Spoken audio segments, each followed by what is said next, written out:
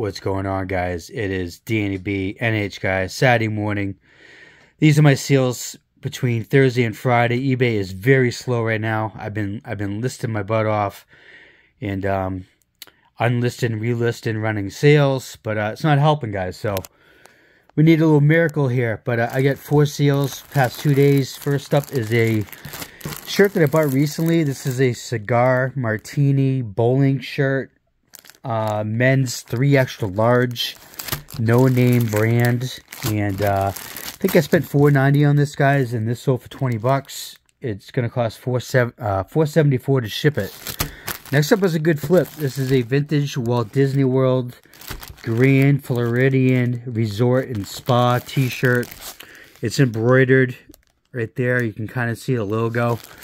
Um, I bought this recently. This is a men's extra large. I pre-treated it.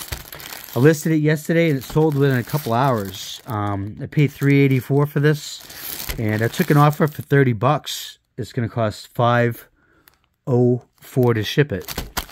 Next up is a Callaway polo shirt. This is the Jimmy Fund. It's got a patch on it, but you can't see it because it's folded up. Um, men's size medium.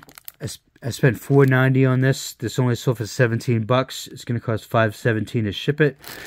And last up is another shirt that sold quick. I bought this over um, last weekend, and I just listed it yesterday. This is a Life is Good women's half shirt. This is a sea turtle.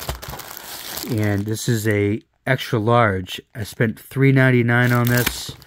Um, this sold for 19 bucks. It's going to cost $4.44 to ship it. So, uh, yeah, guys, it's very slow. Um, a lot of people are having the same issues. But, uh, yeah, I'm just to keep plowing ahead. I'm going out with I'm going out with a ball of flames if this thing Hulk if eBay collapses eventually. I'm gonna have all these clothes, guys. But uh it's okay. I'm gonna I take a little chance right here every day, and uh yeah, hopefully I'll get some more sales, guys. So I'm out the door. Peace.